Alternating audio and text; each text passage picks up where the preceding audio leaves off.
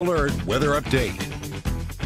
Hey everyone, weather forecaster Derek Overland. We had a really warm day today. Our highs into the mid and upper 80s throughout the region. It did not feel like that though. We had the feels like temperatures getting into the mid to upper 90s throughout the region. So we did have some humid conditions uh, here today. We're looking outside right now, our loose not alive camera. We're still seeing those humid conditions here. Uh, even at 10 o'clock at night here, we're still in the 80s for a lot of us. Austin and Winona, Mason City all at 80 degrees. Rochester is at 79, but notice our dew points in the low 70s throughout the region. That's really humid, especially for this time at night. Looking at future track radar, we're seeing nothing on radar so far, just some cloud cover moving through. Notice a little cell off to our northeast that's moving into Wisconsin and fading out. Uh, we have a few of those cells trying to develop on uh, in front of the cold front, uh, but they're just not having uh, too much luck developing here. Where there's where that cold front is sitting, right off to our northwest, and that's going to continue to move into our region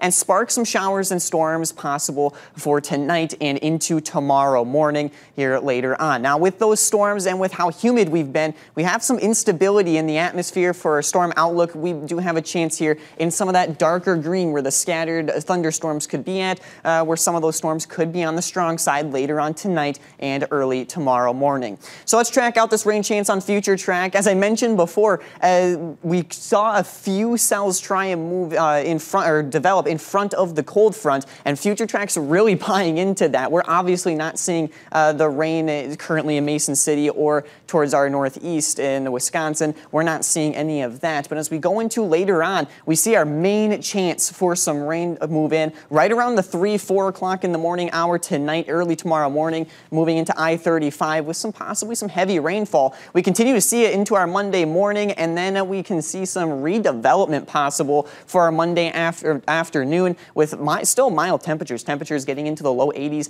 and uh, upper 70s throughout the region. And we continue to see uh, those storms off to our northeast in Wisconsin. They move away from us and we start to see some drier conditions moving into our Tuesday. Tuesday morning, mostly clear skies in the morning, still those mild temperatures, but notice off to our west around Tuesday afternoon, that's when another round of showers and storms begins to develop and could be affecting us uh, late Tuesday evening. Now, we are also looking at some more uh, humid conditions moving into the beginning of our work week. Heat indices possibly in the uh, mid to upper 90s still for our Monday and Tuesday, cooling back down on Wednesday, but we may see some more humid conditions uh, towards the end of our week. Precip forecast here looking ahead, we do have that isolated chance on our Monday. Tuesday, uh, that evening chance isolated there and isolated for our Wednesday stray chance, Thursday, Friday, and Saturday. Now, rainfall forecast, this is the next five days, so through Friday, we may see rain right around two to three inches possible, especially off to our north in the Twin Cities. They're expecting a lot of rainfall from a lot of these systems. Tonight's forecast, showers and storms late tonight, southwest winds at 5 to 15 miles per hour, temperatures staying mild in the 70s and 60s.